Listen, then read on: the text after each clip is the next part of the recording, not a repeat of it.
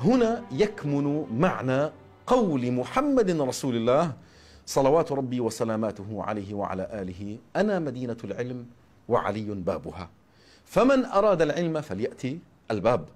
في رواية أخرى ومن أراد الحكمة فليأتي الباب.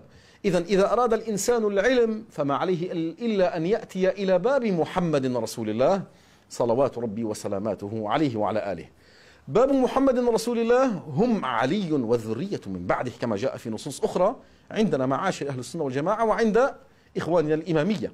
إذا اتفق كل المسلمين على أئمة هؤلاء الأعلام وعلى أنهم أئمة مقدرون.